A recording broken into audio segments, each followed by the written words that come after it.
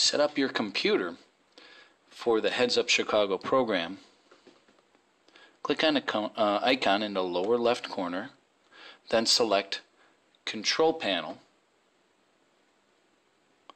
and then select Appearances and Personalization. From there, you'll select Screensaver.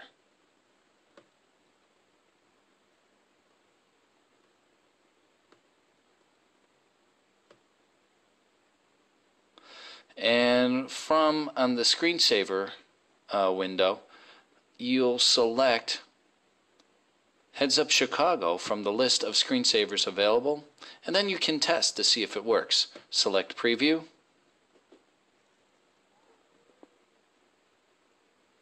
And after a minute,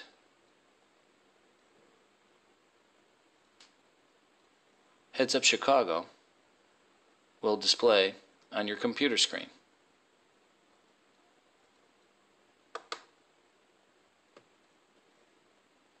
Then you set the time that you want it, uh, the computer to be uh, unused before Heads Up Chicago program kicks in and select OK.